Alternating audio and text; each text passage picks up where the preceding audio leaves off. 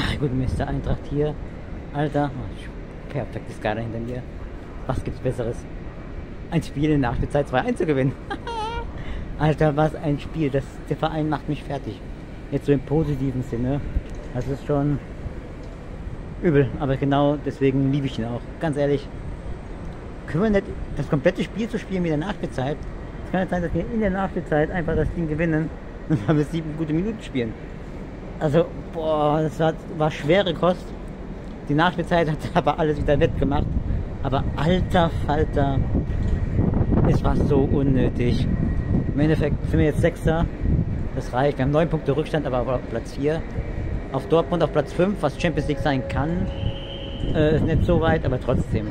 Das Spiel. Und wie gesagt, beim 2-1, wie ich durchs Stadion gewandert worden bin, muss man ganz ehrlich sagen.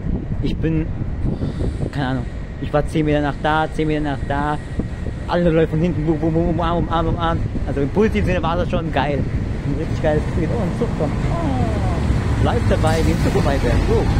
Nein, aber es war schon ein geiles Fenster. Naja, auf jeden Fall, das war so eine Gefühlsexplosion. Und das muss man erlebt haben. Das Ding ist ja, niemand von meinen Leuten war da, weil die arbeiten müssen oder terminlich weg waren. Alter. Und ich war kurz davor, weil terminlich es bei mir auch knapp war, nicht zu fahren. Kälte, zeitlich, teilweise Kälte ging dann. Ach komm, Leute. Das macht er extra, nein, auf jeden Fall. Ich bin so froh, dass ich gefahren bin. Ich hätte mich schwarz geärgert. Aber ich wäre sowieso gefahren. Ich, ich sage immer, mh, mal gucken und dann, also nicht immer, aber so vereinzelte Tage gibt es wirklich, ähm, wo es zeitlich echt knapp ist, wo es dann spät äh, mit Bett ist und so weiter, muss ich auch denken. Ich krieg jetzt sehen, dass ich um Mitternacht zu Hause bin, das ist gut. Also nicht erst um 2 Uhr, das macht einiges aus. Jetzt um Mitternacht, krass. Aber wie gesagt, dieses Spiel, das wir jetzt immer wieder machen müssen mit uns. Spiel doch einfach die 90 Minuten normal, gewinn das Spiel 3, 4, 1, keine Ahnung. Aber holy moly. Wir gehen morgen genauer darauf ein, es gibt so viel zu bereden. Ähm, aber ist das geil gewesen, Alter. Die, die Gefühlexplosion.